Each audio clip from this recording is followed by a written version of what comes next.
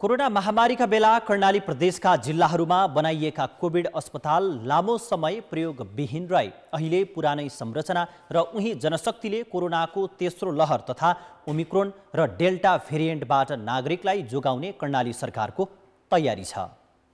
कर्णाली प्रदेशका दस जिल्लामा स्थापना गरिएका कोभिड अस्पतालहरू अहिले सुनसान छन्।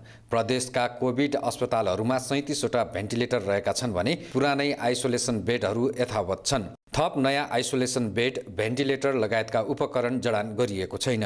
कर्णाली प्रदेशको प्रवेशद्वार बबई पश्चिम सुर्खेतको कुइने र पूर्वको कपुरकोटमा अन्यत्रबाट आउनेहरूको परीक्षण गरिने सेन्टर राखिएको छ तर परीक्षणको तयारी नै छैन। प्रदेशमा चारवटा पिसिआर मेसिन रहे पनि हाल एउटा मेसिन मात्रै सञ्चालनमा छ। सुर्खेतमा भएको ल्याब चाहिँ फङ्सनल छ। अहिले यसबाट चाहिँ हामीले हरेक दिन जसो स्याम्पल जाँच गरिरहेको छौँ त्यो थोरै छ भले बिस पच्चिस तिसवटा स्याम्पल छ।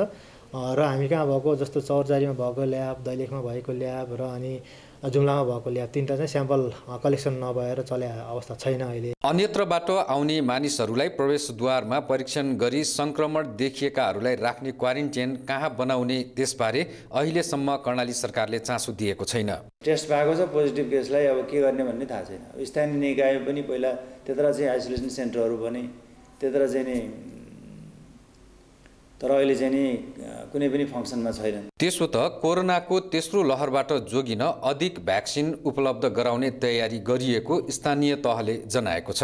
वीरेन्द्रनगर नगरपालिकामा एक लाखभन्दा बढीलाई भ्याक्सिनेसन पनि कार्यक्रम सकिसकेका छौँ र अझ अहिले पनि दिनौँ मानिसहरू आइरहनु भएको छ।